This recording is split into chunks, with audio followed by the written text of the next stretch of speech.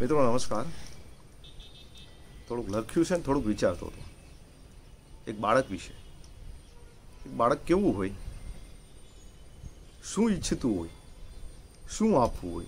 ઘરની અંદર, ખાસ કરીને જ્યાં ટ્વિન્સ હોય, બે બાળકો હોય, અથવા તો અડોસ પડોશમાં એવા બે બાળકો બની જતા હોય, અને એક ઠોઠ હોય અને એક હોશિયાર હોય, ત્યારે આ બાળક કેવું લઘુતા ગ્રંથિથી પીડાતું હોય એના વિશે થોડુંક કેવું છે? આમ તો બાળક નાનું હોય ને, ત્યારે અદ્ભુત પોતાના અસ્તિત્વને માણતું હોય. એક બાળક અને એક ફિલોસોફર્સ આ આનંદને જે, જીવનને જે અનુભવે છે, માણે છે, એના અસ્તિત્વને, એવું કોઈ નથી મળતું ફિલોસોફર્સ હોય ને, એ સર્વનો સાપેક્ષ હોય, કાળનો સાપેક્ષ કાળને સર્વ સાપેક્ષમાં જોતું હોય.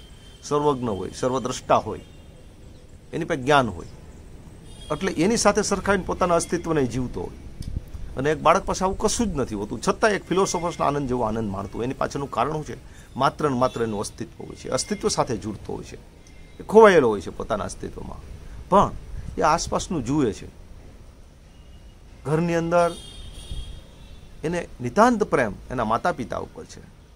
એની સાથે એટેચમેન્ટ છે. મા સાથે તો અદ્ભુત એટેચમેન્ટ છે.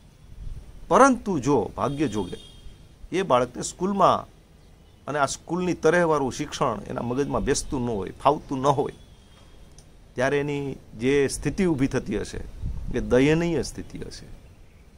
માનો કે ટ્વિન્સ બાળકો એક ખૂબ હોશિયાર છે ને એ ફાવતું જ નથી. પ્રયત્ન બહુ કરતું હોય બાળક.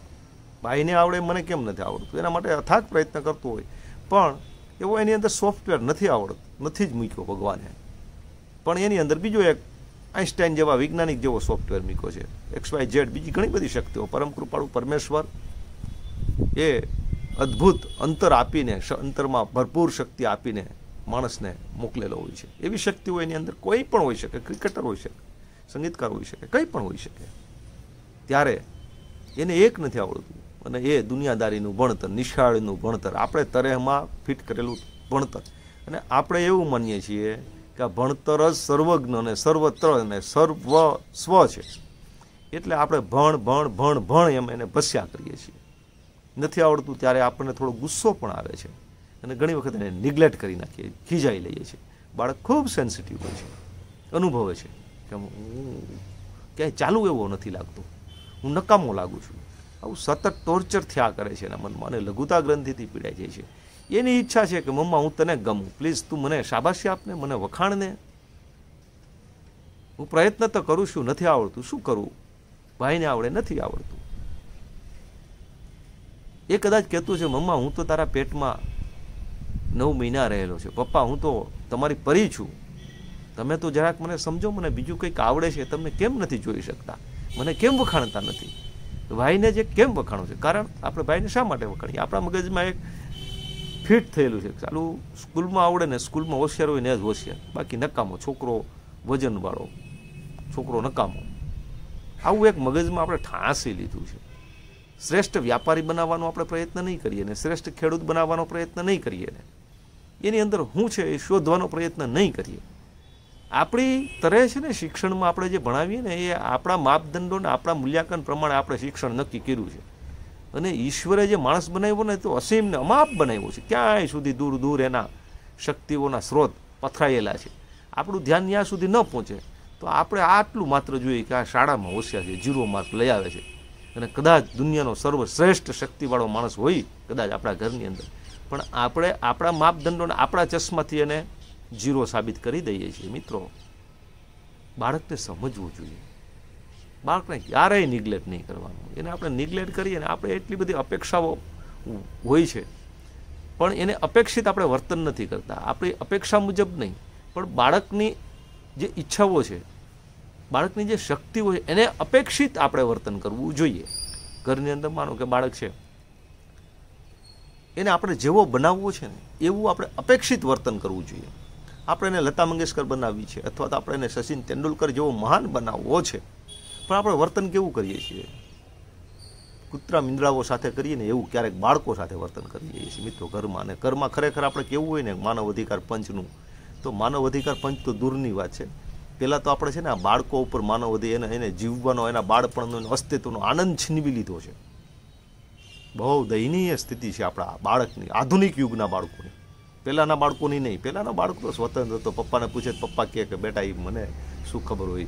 તું ભણે છે, તને ખબર હોય, એવું પ્રોત્સાહન આપતા અને મોટો કરતા. અને આજે આપણે બાળકને નાનો કરી, તને શું ખબર પડે?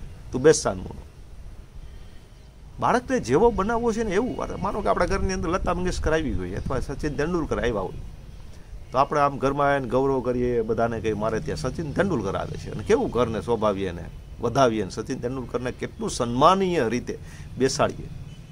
આ બાળકને આપણે બનાવવો છે સચિન તેંડુલકર. પણ વર્તન એવું કે એની સાથે એવું કરીએ છીએ? એવું વર્તન કરવા માંડો. કે સચિન તેંડુલકર જ છે અથવા ટૂંકમાં સુપરમેન છે, મહાન માણસ છે. બાળક પોતાની જાતને ઓળખી લે છે. બાળક એવું નથી કે આ તમે કયો, એ જો શબ્દોને કોઈ સાંભળતું નથી. તમે એને પ્રવચન આપો, જ્ઞાન આપો, સલાહ આપો, માર્ગદર્શન આપો. એ નહીં. પણ તમે શું કહો છો એના કરતાં શું કરો છો? એની સાથે શું કરો છો? તમે પતિ પત્ની શું કરો છો ઘરમાં? તમે પડોશી સાથે કેવો વ્યવહાર કરો છો? તમે નોકર સાથે કેવો વ્યવહાર કરો છો? આ બધું ભેગું કરીને બાળક શીખે છે. બાળક સાથે તમે મહાન માણસ જેવો વ્યવહાર કરો. તો બાળક પોતાની જાતને સ્વીકારી લે છે. બાળક એટલે નથી બનતું કે તમે એને કંઈક કહો છો. અથવા તો કોઈ એને કહે તું મહાન છો. એવું નહીં. પણ એની સાથે મહાન વ્યવહાર થાય ને એટલે બાળક છે એ પોતે પોતાની જાતને સ્વીકારે. અને જ્યારે જ્યાં સુધી આપણે આપણી જાતને ન સ્વીકારીએ, ત્યાં સુધી આપણે કશું જ નથી બની શકતા. આપણે જે બનવું છે એ આપણે પહેલાં સ્વીકારવું પડે. બાળકને કંઈ બીજી દુનિયાદારીની ખબર નથી. એ ફિલોસોફર્સ નથી. એ સર્વ કાળનો સાપેક્ષમાં રાખીને જીવતો નથી. એની પાસે તો એનું અસ્તિત્વ છે માત્ર. અને એને ભરપૂર રીતે જીવે છે, માણે છે, અનુભવે છે.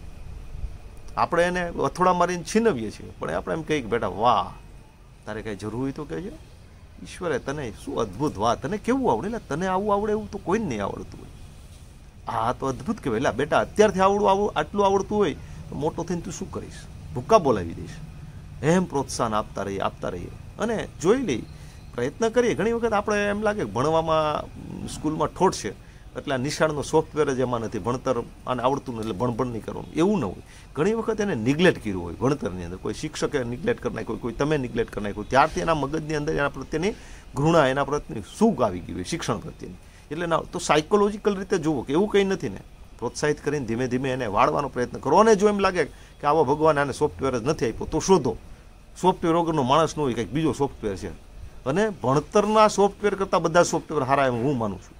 અને એટલે તો આપણને ભણેલા માણસો કરતાં અભણ માણસો હાડા થોડા ગમે એવા. સુગંધી અને સુગંધવાળા અને સારા, ઓછા ખોટું બોલોવાળા માણસો. અને આ દુનિયાનું નિકંદન તો ખરેખર ભણેલ માણસોએ કાઢ્યું છે, અભણ માણસો એ નહીં. અને આ દુનિયાને કંઈક પણ આપ્યું છે ને એ પૂરેપૂરા ગ્રેજ્યુએટ પોસ્ટ ગ્રેજ્યુએટ માણસોએ, ભણેલ માણસોએ નથી આપ્યું. મિત્રો ફેક્ટરી આપી હોય, મોટી મોટી ઇન્ડસ્ટ્રી આપી હોય, તો ભણવાના ઠોઠ એવા માણસો હતા ને એણે આપી છે. એટલે એવું તમે માને માથે પડદો ઓઢી નહીં લ્યો કે આ નિશાળું છે એ સર્વજ્ઞ છે, શિક્ષણ એ સર્વજ્ઞ છે. પ્રયત્ન કરીએ આપણે. પણ પ્રયત્ન કરીએ તો આપણે ઘરે આવેલું બાળક ખોવાઈ ન જાય. એ પણ જોઈએ મિત્રો. બહુ ગંભીર વિષય છે આ બાબતે. જેની ઘરે બાળક હોય, એને આવું વિચારવું જોઈએ. વસ્તુ જય જય ભારત.